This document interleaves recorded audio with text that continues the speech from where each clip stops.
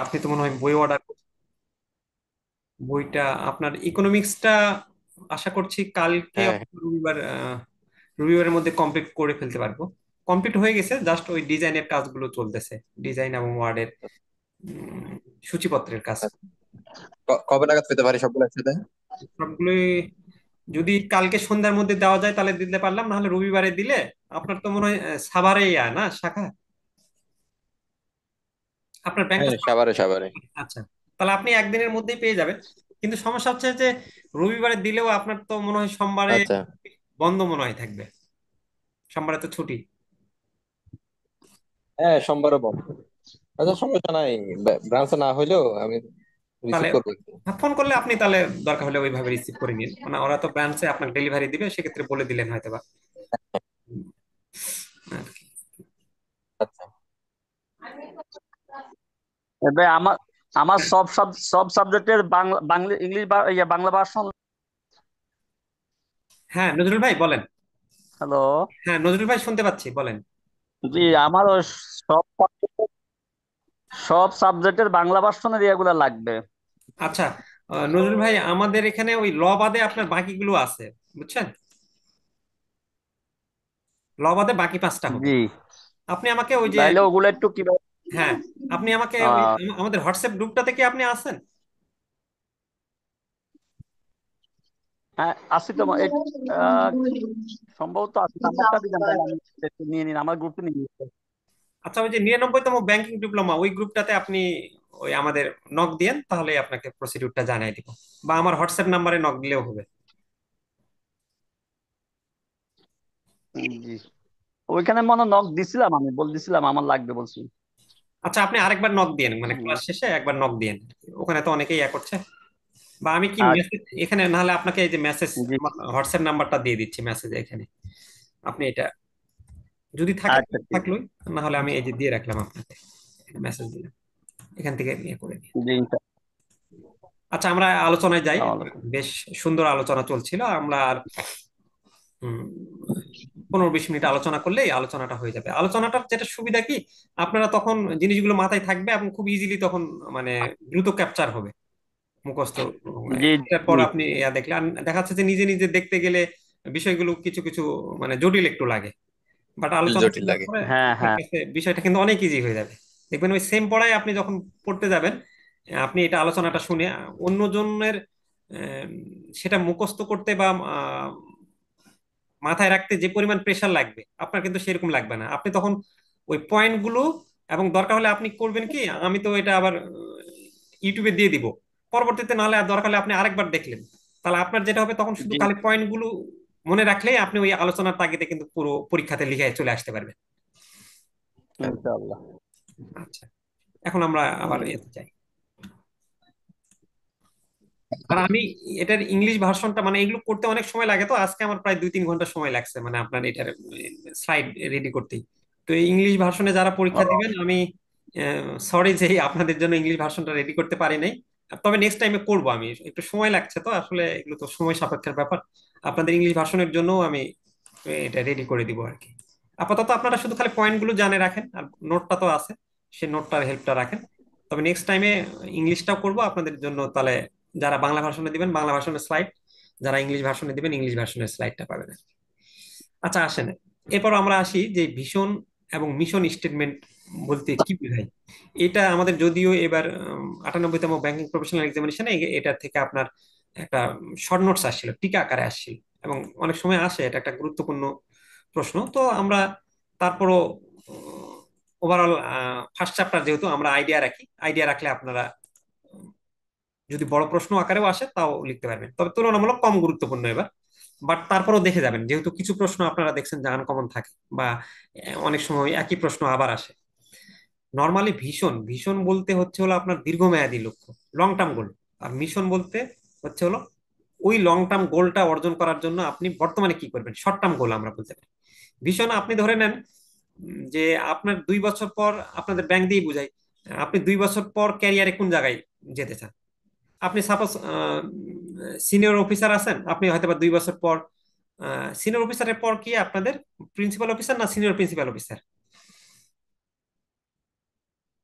পোস্টটা ধরে principal officer আচ্ছা ওকে তো আপনি ধরলেন যে আপনার আহ, চার বছর বা পাঁচ বছর পর আপনি সিনিয়র প্রিন্সিপাল অফিসার হতে চান। এটা আপনার হচ্ছে এই যে লং টার্মে আপনি যে গোল সেটা হলো আপনার ভীষণ এখন এই যে পাঁচ বছর পর আপনি যে সিনিয়র প্রিন্সিপাল অফিসার হতে চান, এর জন্য তো আপনার কিছু কাজ করতে হবে এখন থেকে। তাহলে এখন থেকে যে কাজটা করতে হবে এখন থেকে যে কাজ বলতে আমি ব্যাংকিং ডিপ্লোমা দিয়েই বুঝাই যে আপনারা মনে হয় সম্ভবত সিনিয়র অফিসারের পর পরবর্তী যে প্রমোশনগুলো হতে মানে পাওয়া লাগবে, সেক্ষেত্রে আপনাকে ব্যাংকিং ডিপ্লোমা পাস করতে হবে। তাহলে এই যে ব্যাংকিং ডিপ্লোমা পরীক্ষা পাস করার পর আপনি কিন্তু ওই প্রমোশনের যোগ্যটা হচ্ছেন। তাহলে সেক্ষেত্রে আপনার ওই লক্ষ্যে পৌঁছাতে হলে বর্তমানে যে কাজগুলো করতে হবে, সেটাই হচ্ছিল আপনার মিশন স্টেটমেন্ট একটা স্টুডেন্টের ভীষণ হতে পারে যে সে এক বছর পর ঢাকা ইউনিভার্সিটিতে ভর্তি হতে চায়। কিন্তু এই এক বছর পর ঢাকা ইউনিভার্সিটিতে ভর্তি হতে চাইলে তার ক্লাসে বা হয়তো বা সে কলেজের ক্লাসে তাকে এক নম্বরে হতে হলো। তারপর সে কোচিং এ চিন্তা করল যে কোচিং এর আমি এক থেকে দশের মধ্যে থাকব। এই কাজ করা লাগবে আমার। এটাই হচ্ছিল সহজ কথায় মিশন স্টেটমেন্ট তো আমরা দেখি এই যে ভিশন স্টেটমেন্ট বলছে, প্রতিষ্ঠানের দীর্ঘমেয়াদী লক্ষ্য এবং আকাঙ্ক্ষা বর্ণনা করে। প্রতিষ্ঠান আসলে দীর্ঘমেয়াদে কোথায় পৌঁছাতে চায়? একটা ব্যাংক পাঁচ বছর পর বা দশ বছর পর কোন জায়গায় যেতে চায়? প্রতিষ্ঠান ভবিষ্যতে কি হতে চায়? তার একটা স্পষ্ট ছবি তৈরি করে এই ভিশন স্টেটমেন্ট এবং এই ভিশন বলে যে, কোম্পানি বলে যে, আমরা এই জায়গায় পৌঁছাতে চাই। তাহলে এর ফলে সে কি করে? কর্মীদের কিন্তু মোটিভেট করে যে, আমি এই জায়গায় যাব, তুমি আমরা সবাই মিলে আসো যে, এই লক্ষ্যটাতে এই জায়গায় পৌঁছাতে চাই। তো বর্তমান সরকার কি বলতেছে? যে আমরা সবাই মিলে একটা নতুন বাংলাদেশ গড়তে চাই। তাহলে এই নতুন বাংলাদেশ গড়ার তো আর একদিনে হবে না। এটা তো সবাই মিলে কি করতে হবে? কর্মীদেরকে এটা আলটিমেটলি কি করতেছে? অনুপ্রাণিত করতেছে। তারপর আগের সরকারের কি ছিল? একটা ভিশন ছিল যে দুই হাজার একচল্লিশ সালে বাংলাদেশ এই জায়গায় যাবে। তাহলে লং টার্ম গোলটা হচ্ছে মানে একটা দেশকে কোন জায়গায় মানে একটা কোম্পানি কোন জায়গায় পৌঁছাতে চায়, সেটাই হচ্ছে ভিশন স্টেটমেন্ট এবং তাদেরকে একটি কেন্দ্রীয় লক্ষ্যের দিকে এগিয়ে যেতে সাহায্য করে। কেন্দ্রীয় লক্ষ্য বলতে সবাই মিলে যে লক্ষ্যটার দিকে যায়। আর মিশন স্টেটমেন্ট হচ্ছে, ওই প্রতিষ্ঠানের বর্তমান কার্যক্রম এবং লক্ষ্য বর্ণনা করে। ওই ভিশনে পৌঁছাতে গেলে আমি বর্তমানে কি কাজ করব? প্রতিষ্ঠান কি করে, কার জন্য করে এবং কীভাবে করে তা স্পষ্ট করে। প্রতিষ্ঠান বলে দেয় যে, আমার এই ভিশন এই ভিশনে পৌঁছানোর জন্য কিন্তু আমি বর্তমানে এগুলো কাজ করতেছি। আমি এটা করছি।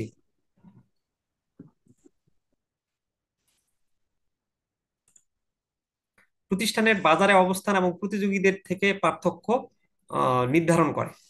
এবং ওই প্রতিষ্ঠানটা যে তার মার্কেটে রয়েছে, সেই মার্কেটে এই মিশন স্টেটমেন্টের কারণে ভিশন স্টেটমেন্টের কারণে যে আমি দশ বছর পর ব্যাংকিং খাতে আমি এই জায়গায় পৌঁছাতে চাই। তাহলে এই জায়গায় পৌঁছালে আমি কি হব? আলটিমেটলি আমার আরও যে ব্যাংক রয়েছে, সেই ব্যাংক থেকে কিন্তু আমি আলাদা হয়ে যাব।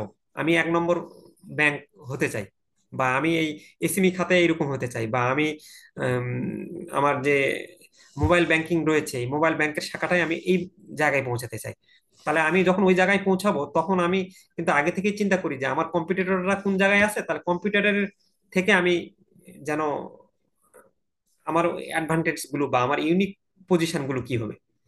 আচ্ছা এখন বলছে যে how vision and mission statement helps the bank company কীভাবে ভিশন এবং মিশন স্টেটমেন্ট ব্যাংক কোম্পানিকে সাহায্য করে? কয়েকটা পয়েন্ট রাখব, আমরা তার ইজিলি মনে থাকবে।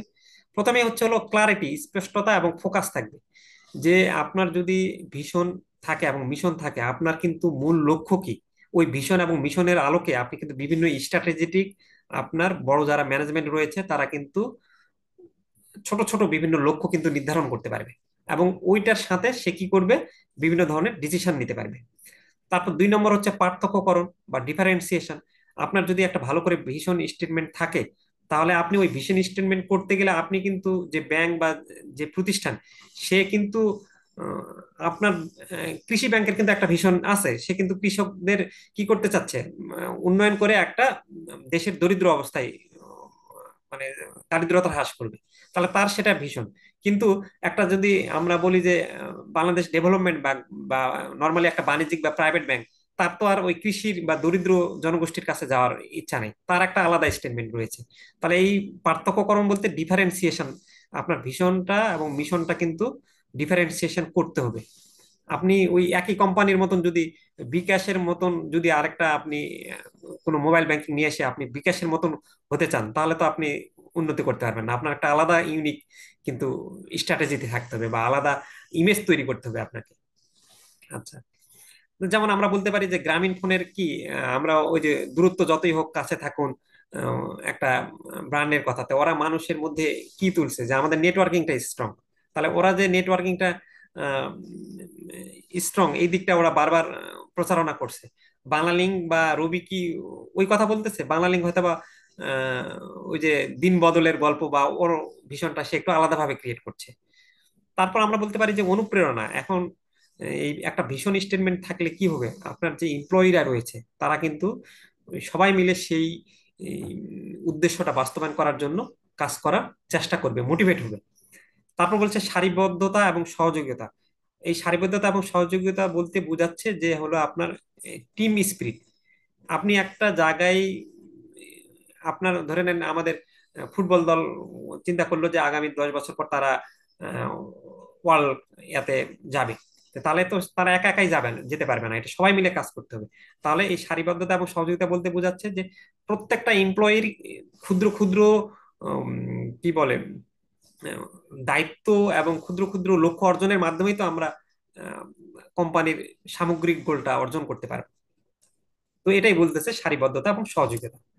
সিদ্ধান্ত গ্রহণের ফ্রেমওয়ার্ক অর্থাৎ আপনার যখন একটা ভীষণ স্টেটমেন্ট এবং মিশন স্টেটমেন্ট থাকবে, ওর আলোকে কিন্তু আপনি ডিসিশন নিতে পারবেন যে আমি এই জায়গায় অবস্থায় পৌঁছে চাই তাহলে আমার ওই আলোকে এই সিদ্ধান্তের সঙ্গে এটা সামঞ্জস্যপূর্ণ এবং আপনাকে একটা গাইডলাইন দিবে ডিসিশন দেওয়ার জন্য। তারপর হচ্ছে প্রতিভা আকর্ষণ এবং ধরে রাখা। আপনার কোম্পানিতে আপনার যদি একটা শক্তিশালী ভিশন এবং মিশন থাকে, তখন কিন্তু যারা ট্যালেন্ট মানুষ আছে, তখন কিন্তু চিন্তা করবে যে, ও এইরকম ইয়া তাহলে আমি এখানে এই জায়গাতেই আমি ক্যারিয়ারটা ফোকাস রাখি। আর আপনারা তো নিশ্চয়ই জানেন যে ভালো এমপ্লয়িকে দক্ষ এমপ্লয়িকে ট্যালেন্ট এমপ্লয়িকে সবাই ধরে রাখতে চাই। তাহলে এই ভালো ভিশন এবং মিশন স্টেটমেন্ট যারা করবে এবং সেটার প্রতি সত্যিকার অর্থে তারা নিবেদিত প্রাণ যদি হয়, তাহলে তারা তারা খুব ইজিলি এই আপনার হচ্ছে হলো এই ট্যালেন্ট কর্মীদেরকে রাখতে পারবে। বিশ্বাস এবং আত্মবিশ্বাস গড়ে তোলা। এটা কি করবে? যে আপনার কনফিডেন্সটা বাড়াবে আর কি তারপর হচ্ছে গ্রাহক কেন্দ্রিক পদ্ধতি নির্দেশিকা। গ্রাহক কেন্দ্রিক পদ্ধতি নির্দেশিকা বলতে হলো ওই আপনার কাস্টমার সেন্ট্রিক আমরা বলি না যে এখন কোম্পানিগুলো হয়ে গেছে কাস্টমার সেন্ট্রিক তাহলে আপনার যখন মিশন স্টেটমেন্ট থাকবে, তখন ওই মিশন স্টেটমেন্টের আলোকে আপনি এই কাজ করতে চান। তাহলে ওই আলোকে কিন্তু আপনি ক্লায়েন্টের সঙ্গে কীভাবে কথা বলবেন, কিংবা ক্লায়েন্টের সঙ্গে কীভাবে আচরণ করবেন ক্লায়েন্টকে কি কি সেবা দিবেন, সেগুলো কিন্তু আপনাকে এই আপনার ভিশন এবং মিশন স্টেটমেন্ট আপনাকে হেল্প করবে। যেমন কৃষি ব্যাংক সে ক্লায়েন্টকে কৃষকদেরকে হেল্প দিচ্ছে। তাহলে ওই কৃষকদেরকে কি কি ভাবে সে সহযোগিতা করবে? আচ্ছা এই ছিল আমাদের ভিশন এবং মিশন স্টেটমেন্ট হেল্প করে। তারপর আমরা বলতে পারি যে describe the purpose of a mission statement of a company বা what is the importance of mission statement একটা কোম্পানির মিশন স্টেটমেন্টের উদ্দেশ্য বর্ণনা করো। আইবিবি টেক্সট বুক ছয় নাম্বার প্রশ্ন। যেহেতু আইবিবি টেক্সট বইয়ের ছয় নম্বর প্রশ্ন টেক্সট বইয়ের থাকলেই সেই প্রশ্নটা আমাদের ভালো করে পড়তে হবে। তাহলে ওই যে ওই একই টাইপের প্রশ্ন কিন্তু ভিশন এবং মিশন স্টেটমেন্ট কীভাবে ব্যাংকে হেল্প করে ওই জিনিসগুলোই একটু এখানে হেল্প করে। আর একটু সরি আমাকে বাসায় কেউ নাই তো একজনকে আসছে একটু আমাকে দশ সেকেন্ড জাস্ট খালি সময় দিবেন। সম্ভবত কেউ আসছে একটু আমাকে কিছু মনে করবেন না একটু ইন্টারাপ্ট হয়ে যাচ্ছে। তো একটু দশ সেকেন্ড সময় দেন আমি দশ সেকেন্ড পরে আসতেছি আবার। Thank you.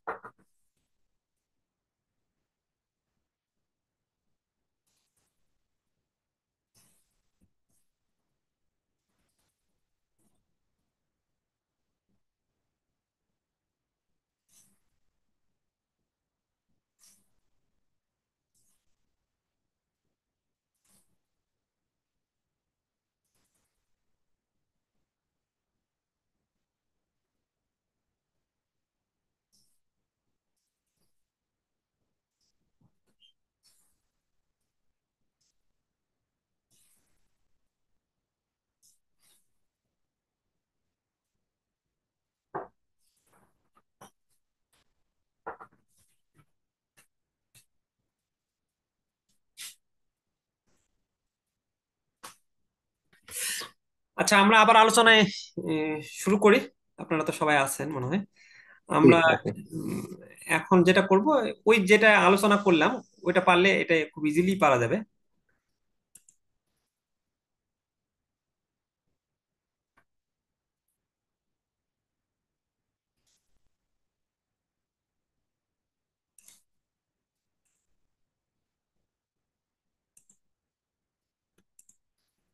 শেয়ার অপশন বন্ধ হয়ে গেছে মনে হয় এখন আবার দেখা যাচ্ছে তো না? আবার চালু করলাম যেহেতু। জি আসতেছে লোডিং আচ্ছা ওকে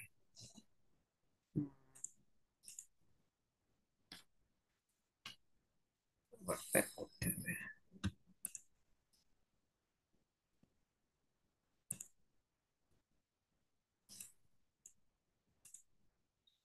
আচ্ছা এবার আসেন। এই describe the purpose of a mission statement of a company বা মিশন স্টেটমেন্ট কেন কোম্পানি ব্যবহার করবে? এর উদ্দেশ্যগুলো কি? তাহলে এটা আমরা খুব সহজেই পারব যে যদি মিশন স্টেটমেন্ট থাকে তখন একটা কি কোম্পানির ক্লারিটি থাকবে বা স্পষ্টতা থাকবে দিক নির্দেশনা থাকবে। তার কোম্পানির লক্ষ্য কি, উদ্দেশ্য কি? তার কার্যক্রম সম্পর্কে কোম্পানি তার বিভিন্ন স্টেক হোল্ডারদেরকে সে জানাতে পারবে। এই কিছুক্ষণ আগে আপনারা জানলেন যে একটা মিশন থাকলে বা মিশন স্টেটমেন্ট থাকলে সেটা কাজ করার মোটিভেশন দিবে। লক্ষ্য ছাড়া কি আমরা কোনো কাজে মোটিভেশন পাই? হ্যাঁ তারপর আপনার একটা লক্ষ্য আছে যে আপনি ব্যাংকিং এ একটা বড় পদে যাবেন। এই লক্ষ্যটাই কিন্তু আপনাকে ব্যাংকিং ডিপ্লোমা করতে অনুপ্রেরণা দিচ্ছে। আচ্ছা তারপর হলো সিদ্ধান্ত গ্রহণ ও সম্পদ বরাদ্দ। এই মিশন স্টেটমেন্টটা কি ডিসিশন নিতে সহায়তা করছে? তারপর আমরা আমাদের যে, একটা কোম্পানির যে বিভিন্ন ধরনের সম্পদ রয়েছে, এই সম্পদগুলো সবসময় কি চায়? সে সবসময় তার যে অ্যাসেট রয়েছে, সেই অ্যাসেট গুলোকে যে সে সুষ্ঠুভাবে ব্যবহার করতে চায় এবং অপচয় সম্পদের যেন অপচয় না হয়। কারণ অপচয় হয়ে গেলে তার আলটিমেটলি কস্ট বেড়ে যাবে। ব্র্যান্ডিং ও বাজারে অবস্থান। সে কিন্তু তার ভিশন স্টেটমেন্টের মাধ্যমে, যেহেতু সে বলতেছে, দশ বছর পর আমি এই জায়গায় অবস্থায় পৌঁছাতে চাই। তাহলে সে বাজারে কি অবস্থান দখল করবে? কম্পিটিটরের কাছ থেকে সে কি আলাদা অবস্থানে আসবে? মানুষ তার নাম বললেই মানে কি মনে করবে? সে অবস্থানটা কিন্তু সে দখল করতে পারে। যেমন আমরা বাটা সুর কথা শুনলে আমাদের কিন্তু মাথায় আসে যে বাটা শু মানে একটা, এটা হলো টেকসই। তো এরকম বিভিন্ন কোম্পানিগুলো বিভিন্ন ভাবে দখল করতে চায়। আমরা টিভির কথা বললেই কিন্তু আমরা জাপানি সনি টিভির কথা মাথায় আসে আমাদের। তারপর কর্মক্ষমতা মূল্যায়ন। মিশন স্টেটমেন্টে কি করা হয় যে একটা কোম্পানির কর্মক্ষমতা মূল্যায়নের ক্ষেত্রে একটা মানদণ্ড হিসেবে ব্যবহৃত হয়। যে আমরা, মাঝে মধ্যে আমাদের লক্ষ্যগুলো চেক করে দেখি যে আমাদের লক্ষ্য, লক্ষ্যতে আমরা আমরা এই জায়গায় পৌঁছাতে চাইলে আমরা আসলে কতটুকু পৌঁছাতে পারছি, আমরা, তারপর কোম্পানির দীর্ঘমেয়াদী সাফল্য নিশ্চিত করতে সাহায্য করে। তাহলে আমি মিশন যেহেতু বলতেছি শর্ট টার্ম গোল তাহলে এই শর্ট টার্ম গোলটা আমি অর্জন করলেই তো আমি দীর্ঘমেয়াদী গোলটা অর্জন করতে পারব। তো তাহলে এর মাধ্যমে আমি কর্মক্ষমতা মূল্যায়ন করতে পারছি। আচ্ছা। এরপর আসছে যে what is brand promise in a bank company একটা ব্যাংক কোম্পানিতে ব্র্যান্ড প্রতিশ্রুতি কি? ব্র্যান্ড প্রমিস বলতে আপনি একটা ব্যাংক কোম্পানি ওই অনেকটা ইয়ার মতোই যে আপনি আপনার ক্লায়েন্টদেরকে আপনি কি কি সেবা মানে কি প্রমিস করতেছে হ্যাঁ যে একটা ব্র্যান্ড প্রমিস কি করে? ব্যাংকে আলাদা করে। যে আমি এই জায়গায় আপনি ফোকাস করতেছেন যে আপনি আপনার গ্রাহক ইয়া করবেন। তাহলে একটা শক্তিশালী ব্র্যান্ড প্রতিশ্রুতি ব্যাংকটিকে প্রতিযোগীদের থেকে আলাদা ভাবে করে। গ্রাহক সুবিধার উপর ফোকাস করে। আপনি কি কি সুবিধা মানে আপনার কোম্পানিটা কি সেন্ট্রিক? যেমন গ্রামীণ ফোন বলে দিচ্ছে যে, আমি নেটওয়ার্কের উপর জোর দিব। তারপর বাটা বলতেছে যে, আমার প্রোডাক্ট হবে টেকসই পাইলে। তারপর অ্যাপেক্স বলতেছে যে, আমার প্রোডাক্ট হচ্ছে হলো নিত্য নতুন বিভিন্ন ধরনের ডিজাইন। তাহলে এই যে বিভিন্ন কোম্পানির কিন্তু বিভিন্ন ধরনের প্রতিশ্রুতি থাকে। আচ্ছা তারপর হচ্ছে আবেগগত সংযোগ তৈরি করে। এই যে ব্র্যান্ড প্রমিস মানে একটা কি করে? আপনার সাথে একটা ইমোশনাল অ্যাটাচমেন্ট ক্রিয়েট করতে চাই হ্যাঁ আমরা ওই যে অনেক সময় গ্রামীণ ফোনের ওই যে অনেক আবেগ ঘন যে কতদিন পর মার বাড়িতে যাচ্ছে, চঞ্চল চৌধুরীর একটা অ্যাড দেখছি না? বা কিছুদিন আগে যে মুগ্ধকে নিয়েও আমরা দেখলাম যে পানির বিজনেস মানে কর্পোরেট বিজনেসটা একটা মুগ্ধ পানি ব্র্যান্ড তৈরি করে ফেলল। তাহলে তারা তার কি একটা মানে ইমোশনাল অ্যাটাচমেন্ট করার চেষ্টা করতেছে কিন্তু গ্রাহকদের সাথে সবসময়। গ্রাহক অভিজ্ঞতা নির্দেশ করে। এখানে এই ব্র্যান্ড ব্র্যান্ড প্রতিশ্রুতি কিছু কিছু উদাহরণ আমরা এই যে কেউ লিখে যে আমরা ব্যাংকিংকে সহজ, দ্রুত আরও ফলপ্রসূ করি। তারপর আপনার আর্থিক নিরাপত্তা প্রবৃদ্ধির জন্য বিশ্বস্ত অংশীদার। এই যে বিভিন্ন ব্যাংকের যে ট্যাগ লাইনগুলো থাকে, তাহলে এই ট্যাগ লাইন গুলোই আমরা বলতে পারি যে আপনার ব্র্যান্ড প্রমিজের উদাহরণ। ওই ট্যাগলাইন দ্বারা আপনি বোঝাতে চাচ্ছেন যে কাস্টমারকে আমি এই এই তোমাকে, তোমার জন্য আমি এই প্রতিজ্ঞাবদ্ধ। আচ্ছা। তারপর বলছে discuss the elements of an effective brand promise brand প্রমিজের effect এলিমেন্টসগুলো কি কি? আমরা কয়েকটা পয়েন্ট মনে রাখব। ব্র্যান্ড প্রমিজের এলিমেন্ট হতে গেলে এই ব্র্যান্ড প্রমিসটার অবশ্যই ট্রান্সপারেন্সি থাকতে হবে। এমন একটা ব্র্যান্ড প্রমিস হতে হবে যেন সেখানে গ্রাহক এবং কর্মচারী সবাই স্পষ্টভাবে বুঝতে পারে এবং এই ট্যাগলাইনটা আপনি একটা যে আপনার ট্যাগলাইন থাকে, সেই ট্যাগলাইন তো অবশ্যই সংক্ষিপ্ত হতে হবে। এটা এমন না যে আপনি এক পাতা জুড়ে বলতেছেন, এক পাতা জুড়ে বললে তো মানুষ ওইটা দেখবেই না আর কি তারপর এই ব্র্যান্ড প্রমিসের কি থাকতে হবে? সামঞ্জস্যতা থাকতে হবে কনসিস্টেন্সি থাকতে হবে, সত্যতা থাকতে হবে।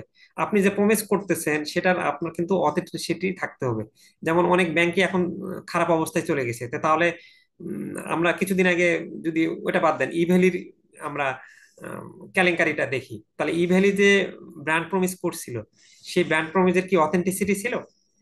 বা ওই যে ওরা এই যে বলছে ব্র্যান্ড প্রমিসটা কি আসলেই অর্জনযোগ্য কিনা? ই ভ্যালি যে অর্ধেক দামে দিচ্ছিল সেটাকে আসলেই মার্কেটে এইভাবে ব্যবসা করা সম্ভব? সেটা কিন্তু সম্ভব ছিল না। আচ্ছা। তারপর প্রাসঙ্গিকতা। আপনি যে ব্র্যান্ড প্রমিসটা করতেছেন, সেটা শ্রোতাদের মানে আপনার ক্লায়েন্ট আপনার কাস্টমার যেটা আশা করছে এবং তার যে চাহিদা, সেই চাহিদার সাথে আপনার ব্র্যান্ড প্রমিজের কি বলে, আসলেই প্রাসঙ্গিক আছে কিনা। যেমন আমি সিম্পলি বলতে পারি যে যারা ব্যাংকিং ডিপ্লোমা তাদের প্রত্যাশা করতেছে যে বইগুলো বা হ্যান্ড নোটগুলো অবশ্যই বিগত বছরের প্রশ্নের আলোকে এবং আইবিবি টেক্সট বইয়ের আলোকে হওয়া উচিত। এবং এখন এটা ওরা যেহেতু প্রত্যাশা করছে আমার হ্যান্ড নোটগুলো কিন্তু ওই প্রত্যাশা অনুসারে সেটা লিখতে হবে, তাদের সাথে প্রাসঙ্গিক হতে হবে। কিন্তু আমি তা না করে যদি বাজারের অন্য বইগুলো যেরকম দুনিয়ার উল্টাপাল্টা জিনিস, আগের বছরের প্রশ্নগুলো নিয়ে আসছে, তাহলে তো তার সঙ্গে আমি প্রাসঙ্গিক রাখলাম না। বা আমি, একটা শ্রেণীকে এমন লোক দেখালাম লোক দেখায় একেবারে বললাম যে মাত্র চল্লিশ পেজের বই হ্যাঁ কিছু যেগুলো আমরা ফেসবুকের বিভিন্ন গ্রুপগুলো দেখি, যে এই সাজেশন থেকে হান্ড্রেড পার্সেন্ট কমন বা এটা পড়লে আপনার সব হয়ে যাবে। তাহলে তখন তো আপনি টেক্সট বইয়ের সবগুলো ফলো করলেন না। তারপর হচ্ছে এখানে পার্থক্য। আপনারা জানেন যে, যখন ব্র্যান্ড প্রমিস থাকবে, তখন আপনি প্রতিযোগিতার চেয়ে কি আলাদা, সে পার্থক্যটা থাকবে। ওই একই কথা আসতেছে ঘুরে ফিরে। পরিমাপ যোগ্যতা আপনার ব্র্যান্ড প্রমিসটা এমন হতে হবে যেন আপনি যদি পরিমাপ যোগ্যতা না থাকে, তাহলে আপনি কিন্তু কিছুদিন পর যদি এটা মাপ না করতে পারেন, আপনি আসলে কতটুকু কাজে এগুচ্ছেন, আপনি কিন্তু কাজের কোনো দিক নির্দেশনা পাবেন না খুঁজে। আচ্ছা সাতানব্বইতম ব্যাংকিং প্রফেশনাল এক্সামিনেশন একটা প্রশ্ন এসেছিল তেরো নম্বর, এটা হচ্ছে হলো ক্রিয়েটিভ প্রশ্ন। তো ক্রিয়েটিভ প্রশ্ন সাধারণত আমার মনে হয় না ডাবল মানে ওই একই টাইপ ক্রিয়েটিভ দিবে। তো আমরা যদিও নোটে এটা ধরছি এই জন্য আমি আলোচনা করছি না, আপনারা একবার দরকার হলে তাও দেখে নেবেন। যেমন, জালিয়াতি, অপব্যবহার এবং জরিমানার বিরুদ্ধে রেগুলারিটির পরিপালন কার্যকর। মানে আপনার আইন বিধিবিধান কার্যকর করতে হবে, এই আলোকে ব্যাখ্যা করুন। আপনারা একটু রিডিং করে নেবেন, আমরা প্রায় শেষের পথে চলে আসছি। আর একটা প্রশ্ন পড়লেই আমরা এই চ্যাপ্টার কমপ্লিট করে ফেলব। এখানে বলছে যে হুইজ বা who are real owner of the bank বা ফিনান্সিয়াল ইনস্টিটিউশন ফিনান্সিয়াল ইনস্টিটিউশনের রিয়েল ওনার কারা? Please justify your answer in brief আপনার অ্যান্সারের পক্ষে যুক্তি দিন। যেটা ছিয়ানব্বই ছিয়ানব্বইতম ব্যাংকিং প্রফেশনাল এক্সামিনেশন এসেছিল। তো আমরা রিয়েল ওনার বলতে বলতেছি যে, সাধারণ ব্যাংক বা আর্থিক প্রতিষ্ঠানের ক্ষেত্রে হচ্ছে শেয়ার হোল্ডাররাই মূলত প্রকৃত মালিক। যারা হচ্ছে মূলধন দেয়। সেটাই তো প্রকৃত মালিক হবে। একটা কোম্পানির প্রকৃত মালিককে, যৌথ মালিকানাধীন কোম্পানির যারা মূলধন সরবরাহ করে সেই তো। কারণ শেয়ার হোল্ডাররা ব্যাংকের মূলধন সরবরাহ করে। শেয়ারের অনুপাতে তাদের ব্যাংকের মালিকানা এবং লাভের অধিকার থাকে। এই শেয়ার হোল্ডাররা আমরা কি জানি যে অ্যানুয়াল জার্নাল মিটিংকে ব্যাংকের পরিচালনা পর্ষদ নির্বাচন করে। আর কিছু ব্যতিক্রম ক্ষেত্রে এগুলো এক্সেপশনাল সহকারী ব্যাংকের সদস্যরাই প্রকৃত মালিক, কারণ এখানে সদস্যরা ব্যাংকের মূলধন সরবরাহ করে। আর সদস্যরা যেহেতু ব্যাংকের মূলধন সরবরাহ করে, তারা ব্যাংকের পরিচালনা পর্ষদ নির্বাচন করে। আর এই সদস্যরা যেহেতু মূলধন দিয়েছে তাহলে লাভটা যেটা হবে, সেটা সদস্যদের মধ্যেই লাভ বন্টন করা হবে। আর ওখানে শেয়ার হোল্ডাররা যেহেতু দিয়েছে শেয়ার হোল্ডাররা লাভের বন্টনের অধিকার হবে এবং শেয়ার হোল্ডাররা পরিচালনা পর্ষদ নির্বাচন করবে। অর্থাৎ আপনি শেয়ার হোল্ডার পারলে শেয়ার হোল্ডারের সাথে যারা ব্যাংকের সদস্য, ওটাও ওই বাকি জিনিসগুলো এটাতে লিখতে পারবেন। ব্যাংকের সদস্য ওই পয়েন্টগুলো এই পয়েন্টে দিয়ে দিবেন আর রাষ্ট্রায়ত্ত ব্যাংকের ক্ষেত্রে আপনারা তো জানেন যে রাষ্ট্রায়ত্ত ব্যাংকের প্রকৃত মালিক হলো রাষ্ট্র। কারণ রাষ্ট্র ব্যাংকের মূলধন সরবরাহ করে, রাষ্ট্র ব্যাংকের পরিচালনা পর্ষদ নির্বাচন করে এবং লাভটা রাষ্ট্রীয় কোষাগারে জমা হয়। এখান থেকে আমাদের নোটস সাতানব্বইতম ব্যাংকিং প্রফেশনাল এক্সামিনেশনে এসেছিল এবং আটানব্বইতমতেও এসেছিল। তা আটানব্বইতমতে আপনার এসেছিল ওই ভিশন এবং মিশন স্টেটমেন্ট তো এই জন্য আটানব্বইতমতে ওইটা মনে হয় দেওয়ার কথা না। সেক্ষেত্রে আপনারা এই যে কোড অফ কন্ডাক্ট আমাদের হ্যান্ড নোটে দেওয়া আছে। যখন যারা পেয়েছেন তারা তো দেখছেন। কোড অফ কন্ডাক্টটা একটু পড়ে নেবেন code of ethics code of conduct আমি সংক্ষেপে এক মিনিটে আপনার ত্রিশ সেকেন্ডে একটা ধারণা দিয়ে দিই। কোড অফ কন্ডাক্ট মানে কন্ডাক্টের মানে আপনার আচরণ বিধি বা ব্যবহারের নিয়মাবলী। অর্থাৎ প্রত্যেকটা প্রতিষ্ঠানের কিছু কিন্তু কোড অফ কন্ডাক্ট রয়েছে। কিছু নিয়মাবলী রয়েছে, যে নিয়মগুলো আপনাকে মানতে হবে। বা এটা ওদের কোড অফ কন্ডাক্ট আছে বলেই কিন্তু আপনি অফিসে ড্রেস কিন্তু পরে যাচ্ছেন। আবার কোনো দেখা যাচ্ছে যে আপনার কোড অফ কন্ডাক্ট আছে বলেই কিন্তু আপনি ছয়টা বা আটটা আপনার অফিসের নিয়ম হচ্ছে হলো আটটা পর্যন্ত অফিসে থাকা বা ছয়টা পর্যন্ত অফিসে থাকা। তাহলে আপনি ছয়টা পর্যন্ত রাখছেন। অর্থাৎ ওভারঅল একটা প্রতিষ্ঠানে তার এমপ্লয়িরা কি আচরণ করবে, কি আচরণ করা যাবে না এবং কোম্পানি কি আচরণ করবে, না করবে, সেটাই হলো কোড অফ কন্ডাক্ট আর কোড অফ ইথিক্স বলতে ইথিক্স এর নিয়ম নীতিগুলো মেনে চলবে আর কি। তো এই ছিল আমাদের আজকের ক্লাস আমরা ওভারঅল আজকে ক্লাসে যেটা বুঝলাম যে জিএফআই এর চ্যাপ্টারটা মূলত প্রথমে কর্পোরেট গভর্নেন্স বলতে কাকে বোঝায়? সেটা আমরা শিখলাম। কর্পোরেট গভর্নেন্স বলতে আমরা শিখলাম কিছু নিয়ম নীতির নিয়ম নীতি যেগুলোর মাধ্যমে একটা কর্পোরেট প্রতিষ্ঠান কীভাবে পরিচালিত হবে তারা, তাদের লক্ষ্য গোলগুলো সেট করে, পরিচালনা পর্ষদের কি কাজ করবে, না করবে, এগুলো। এবং একটা কর্পোরেট গভর্নেন্স ব্যাংক বা আর্থিক প্রতিষ্ঠানগুলোর জন্য কেন গুরুত্বপূর্ণ, সেটা আমরা শিখলাম। তারপর আমরা শিখলাম যে ব্যাসেলের প্রিন্সিপাল বেশ কিছু, সেটা আমাদের গুরুত্বপূর্ণ আমরা দেখলাম। এরপর আমরা দেখলাম যে ব্র্যান্ড প্রমিস কাকে বলে, তারপর ভীষণ স্টেটমেন্ট কাকে বলে মিশন স্টেটমেন্ট কাকে বলে। তো আমার বিশ্বাস ওভারঅল চ্যাপ্টার সম্পর্কে একটা আইডিয়া চলে আসছে, আপনারা শুধু খালি ডেফিনেশনগুলো আর তারপর দেন যে যে ইয়াতে লিখবেন পয়েন্টগুলো মুখস্থ করে ফেলবেন, তাহলে ইজিলি লেখা যাবে। এখন ওভারঅল আপনারা আমাদের ক্লাস শেষে কিছু বলার থাকলে বলতে পারেন। আমরা শুনি। এবং আমার মনে হয় একটা আইডিয়াও হয়ে গেল যে আপনারা কোন প্রশ্নগুলো গুরুত্ব দিবেন কোন প্রশ্নগুলো গুরুত্ব দিবেন না। তাহলে আজকে ক্লাস এখানেই শেষ করতে যাচ্ছে ওয়াহিদ ভাই। জি জি ভাইয়া আজান দিছে তো? হ্যাঁ আজান দিয়ে দিছে আমরা শেষ করি আর কি হ্যাঁ। সোহেল ভাই তাহলে বিদায়। আর যে কোনো কিছু প্রবলেম হইলে আপনারা ওই গ্রুপে বা পার্সোনালি আমাকে নক? দিবেন লিমন ভাই একটা প্রশ্ন ছিল। হ্যাঁ বলেন। হ্যাঁ আপনি তো আজকে মানে ফার্স্ট চ্যাপ্টারের উপর ওভারঅল একটা আইডিয়া দিছেন ভালোই লাগল। তো আমার যে এই জিএফআই এ শর্ট কোশ্চিন আসে বিশ মার্কের দশটা। তো এই অধ্যায় থেকে তো শর্ট কোশ্চিন থাকবে এই ব্যাপারে যদি একটু বলতেন। আচ্ছা এখানে একটা বিষয় হ্যাঁ আমার কাছে যে জিনিসটা মনে হয়েছে শর্ট প্রশ্ন আসলে আপনার ওইভাবে কমন পাওয়া মানে একটু টাফ তো শর্ট প্রশ্নের জন্য আপনাকে অনেকগুলো দেখাচ্ছে যে শর্ট প্রশ্ন তো মার্কস আসবে ভালো বাট ওভারঅল আপনার বেসিক বা অনেকগুলো মুখস্থ করতে হবে। এখন এটা তো মানে এই মুখস্থ করে আমি শেষমেশ পাবো কি পাবো না দেখা যাচ্ছে চার পাঁচশোটা শর্ট নোটস পড়লাম বা দুই তিনশো মানে ঘুরে ফিরে আসলে তাও বলা যেত। আর এটা যেহেতু ওই একই কমন টাইপের আসতেছে না, তো এটা একটু আমার মনে হয়, এতে যাওয়াটা মনে হয় কেন জানি আমার কাছে মনে হচ্ছে রিক্সি বলতে পয়েন্ট পাবো ঠিক আছে, কিন্তু এটার জন্য তো ইফোর্ট দেওয়া লাগবে বেশি। আর যদি বলতে চান যে অ্যাটলিস্ট আমি বই বইয়ে সম্ভবত আলাদাভাবে ওইরকম সংক্ষিপ্ত প্রশ্ন দেওয়া নাই। তাহলে ওই সংক্ষিপ্ত প্রশ্নগুলো পরবর্তীতে আপনাদের যদি কিছু দিতে পারি তাহলে দেওয়া যাবে। বাট এই সংক্ষিপ্ত প্রশ্ন হচ্ছে যে এটা কি আনকমন একটা বিষয়। তাহলে কতগুলো আমরা শর্ট সংক্ষিপ্ত প্রশ্ন পড়ব? ওই তুলনায় আপনি শর্ট নোটস এবং যদি চ্যাপ্টার ওয়াইজগুলো করতে চান তাহলে আপনি ভালো পারলেন। এখন আপনি ওই তিনশো পড়েও যদি না পান, ওই তিনশো শর্ট কিন্তু আপনার মুখস্থ রাখতে হবে। মানে এটা এমসিকিউ টাইপ তাও এমসিকিউতে আপনি কিন্তু নিচে দেখতে পারেন যে এই অপশন আছে। আপনার ওখানে তাও কিন্তু একটু তুলনামূলক কম খাটুনি করা লাগে। কিন্তু এই যেটা আপনি ওই যে কুইজ প্রশ্নগুলো, এক মার্কসের তো ওই এক মার্কসের তো তাহলে আপনাকে অনেকগুলো মুখস্থ করতে মানে আমি বলতে চাচ্ছি যে এমসিকিউ এর চেয়ে তো আপনার প্রেশারটা দিয়ে বেশি মুখস্থ করতে হবে। তো আপনার তো ওই টাইমটা নাই এখন। আমরা পয়েন্টগুলো হলে তাও কিন্তু বানায় লিখতে পারব। আর ওখানে তো আপনার যা উত্তর চাইবে সেটাই লিখতে হবে আপনাকে। কত সালে বা কত ইন্ডিপেন্ডেন্ট ডিরেক্টর আইন কানুনগুলো অনেকগুলো এরকম ভাবে দেওয়া থাকে একটা প্রাইভেট ব্যাংকের কতজন সদস্য ওটা কতজন সদস্য নয় এরকম আসে চলবে বুঝছি।